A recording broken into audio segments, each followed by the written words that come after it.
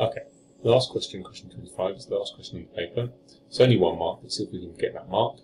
It says a metal box has a weight of 8 times 10 to the power 3 grams. Find it in standard form the weight of 10 of these metal boxes. So first of all, we need to remind ourselves what standard form means. Standard form means some number times by 10 to the power of some number. So you can see that this is written in standard form here.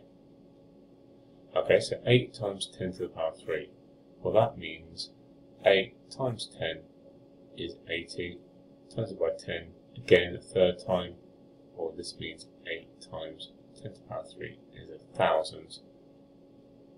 So a box weighs 8,000 grams. 10 of these boxes, we're going to multiply 10 by 8,000. That gives us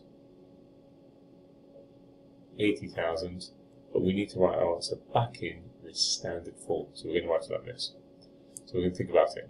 Well, the first number is going to be 8, the same as here, so it's going to be an 8. It's going to be times 10, and what's the power?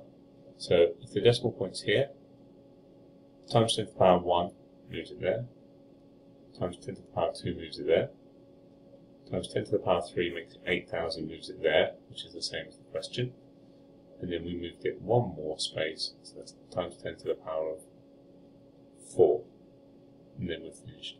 If you need to go back and revise and work in standard form, do that, because you need to be able to convert to and from standard form like this. Okay?